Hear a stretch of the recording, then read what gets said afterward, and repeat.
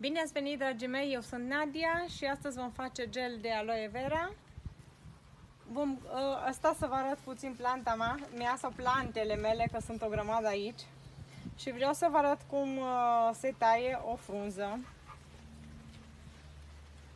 Totdeauna se taie ultima frunză de jos.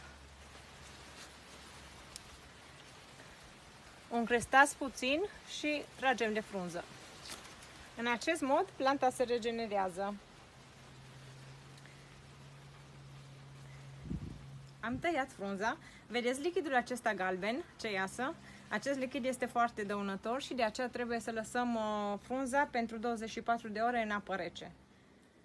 Bine ați venit! Aici avem uh, frunzele de aloe vera după ce au stat 24 de ore în apă. Eu am două frunze, una mai mică și una mai mare. Le-am tăiat capetele ca să beneficiem de pulpă. Uitați ce cornoasă este.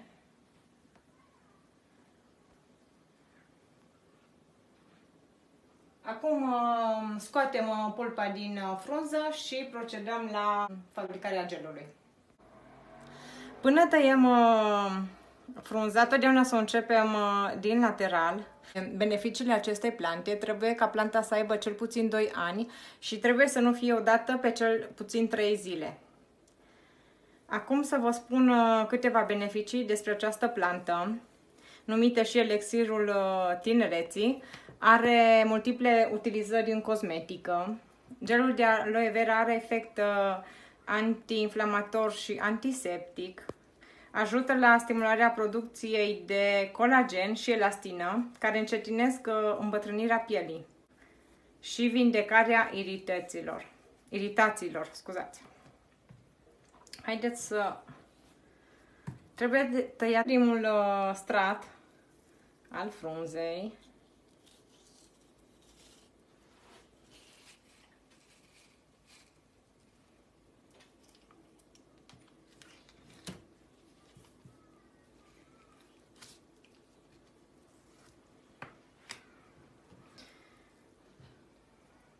Iar acum scoatem toată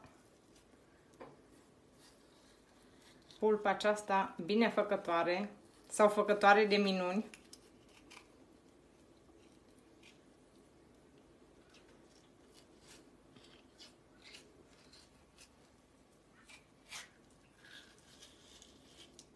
Aici avem pulpa extrasă din cele două frunze. Uitați ce cășnoase sunt. Acum trecem uh, să le zdrobim cu blenderul și obținem gelul de aloe vera.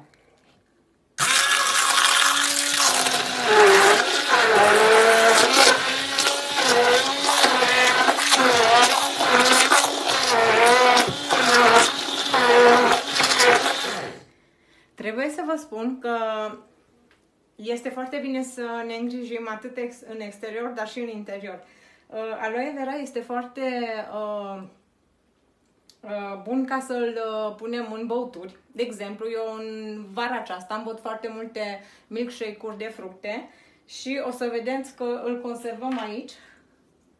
Și un cubuleț din acesta, în fiecare băutură, este un miracol. Haideți să continuăm cu mărunțirea aloe.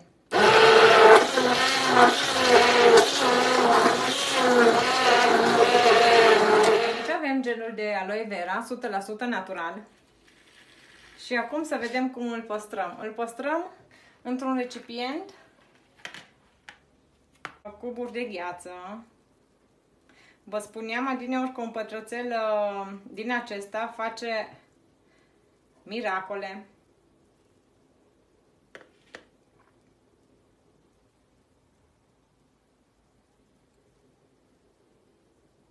Trebuie să vă mai spun că se păstrează pentru foarte mult timp, nu trebuie să faceți nimic decât să-l congelați.